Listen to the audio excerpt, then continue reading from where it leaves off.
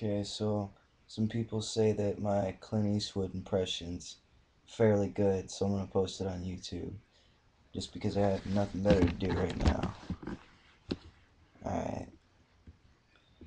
I know what you're thinking. Did he fire six shots or only five? Well, to tell you the truth, in all this excitement, I kinda lost track myself. But being as this is a 44 Magnum, the most powerful handgun in the world, will blow your head clean off, you've got to ask yourself one question. Do I feel lucky? Well, do you, punk? When you hang a man, make sure he's really dead.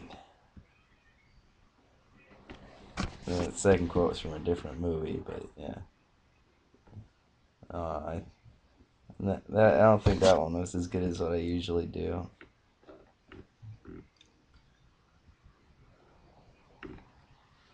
Um.